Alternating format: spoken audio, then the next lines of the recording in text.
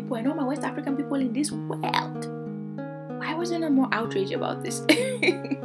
okay, so this woman is mixing the tomato, the onion, and then the pepper and making sauce. Now, some people make their sauce like this, but from what I know, and by the way, bay leaf, I've never really seen that in a jollof anything.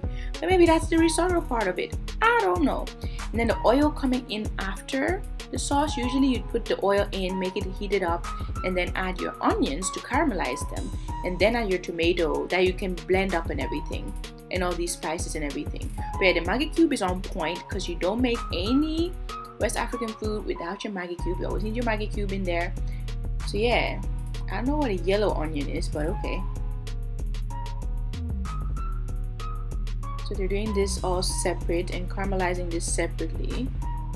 Oh wait, oh yeah, that's got the rice in there. Oh my goodness, it's just so weird to see this type of rice, this risotto rice to make jollof. Just don't call it jollof then, just call it risotto. Like why?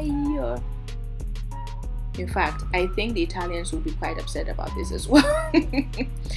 but I like this. I like this with the shrimp and everything. Those shrimps look, mm, they look juicy, and mm, that that might be something I need to add to my jollof rice.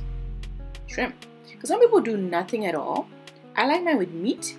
I've occasionally seen it with chicken. I've seen it with sardine, but the shrimp thing is a new thing.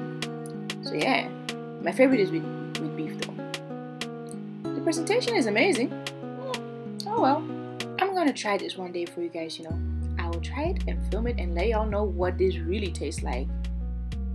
Follow me on Instagram and on Twitter. I'll see you in the next one. Make sure you hit thumbs up or something that subscribe button and hit the notification bell while you're at it. Hit the like too. Share it with everybody you know. Bye.